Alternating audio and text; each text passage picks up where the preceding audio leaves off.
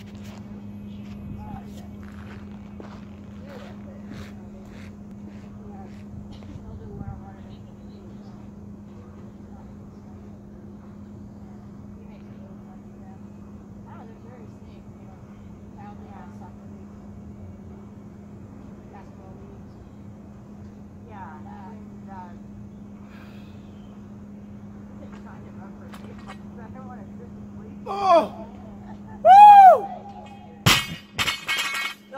awesome.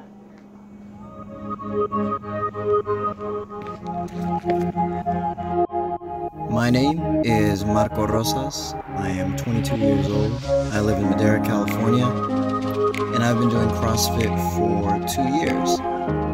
On August 18th, 2018, my friend Larissa Flores and I are going to enter our first ever competition in the RX men and women's division. This is our story.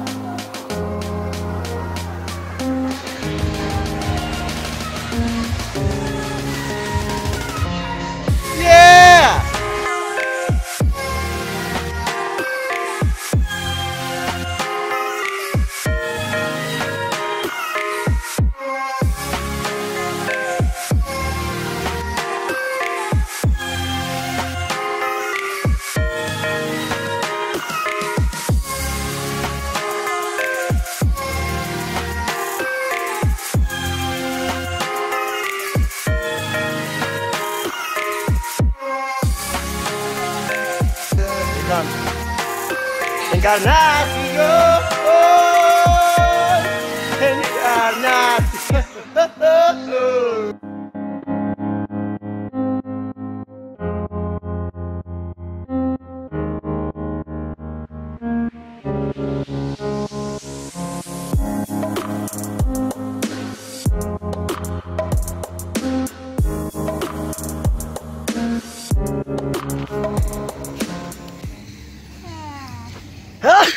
Crap. I ruined a perfectly good shot. Eh, I'm gonna be here for a while. Yeah. How was it? Eh, I'm tired now. Oh, But you did it. You made it through the hard stuff. ah, ah. I need a note. what was the worst movement? Um, the lunges for sure. Yeah. I just hate that the gym is so stuffy. Yeah. Breathe in there. My lungs can't open up. It feels so nice, out, you know. Crucify. Five lunges.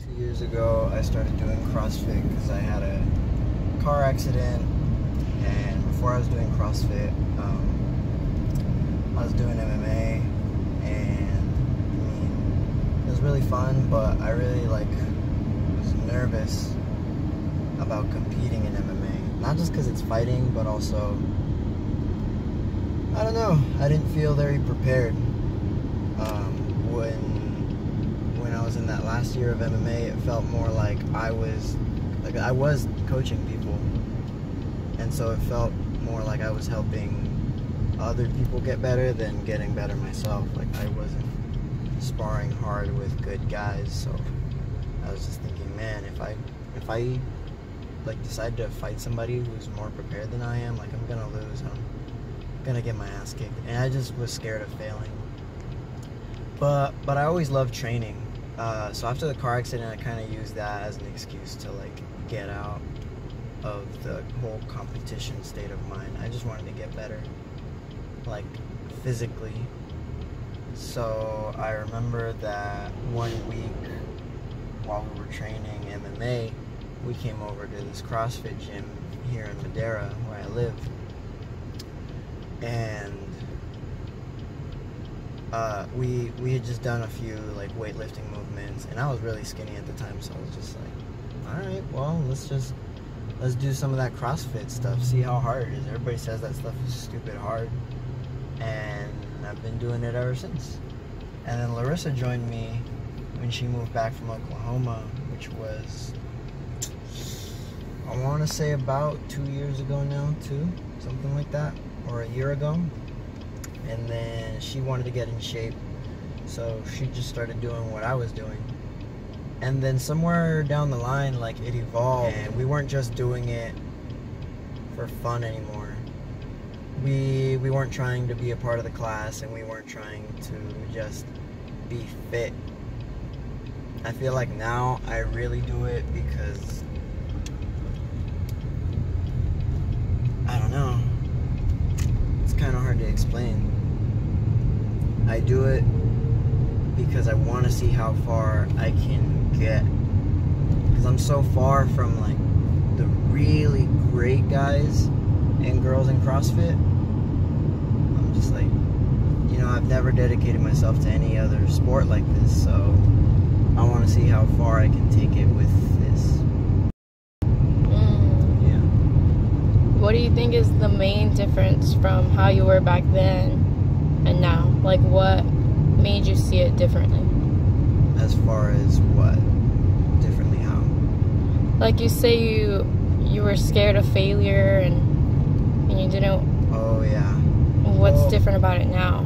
I feel more confident now. Mm. way more confident. And I don't know if it's just because I'm older or because I'm legitimately stronger or a combination of a bunch of different things, but I feel way more confident now. Just overall, I feel like if I had had this outlook on life back then, I would have probably still been scared to do MMA, but uh, I would have just done it.